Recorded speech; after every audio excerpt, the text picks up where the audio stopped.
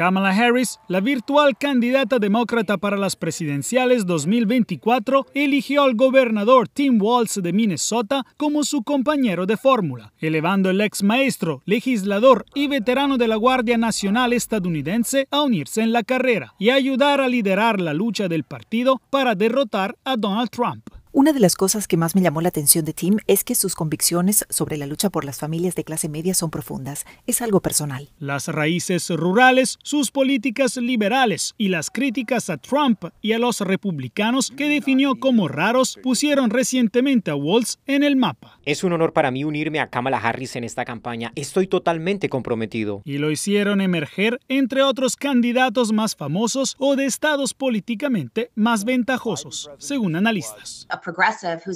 Un progresista que ha podido ganar en distritos rurales conservadores, que ha podido ganar en todo Minnesota, incluso en los enclaves no progresistas, que es alguien que posee un arma y luchó y fue veterano de guerra y nació en Nebraska y por lo tanto es alguien que entiende a la clase media estadounidense. Walz, como gobernador, promulgó varias políticas liberales como la tutela del aborto en su estado, la universidad gratuita para los estudiantes más pobres y protección para las personas transgénero. Entre los demócratas, la selección fue recibida muy positivamente, mientras para los republicanos, Waltz es un extremadamente peligroso extremista. Trump en un correo a sus partidarios dijo que desatará el infierno en la tierra, mientras su vice J.D. Vance dijo, Mi opinión al respecto es que esto simplemente pone de relieve lo radical que es Kamala Harris. Es una persona que escucha al ala de jamás de su propio partido y elige a un candidato. Harris y Waltz encabezarán su primer mitin conjunto en Filadelfia, Pensilvania, en la noche de este martes, antes de recorrer otros estados en disputa esta semana.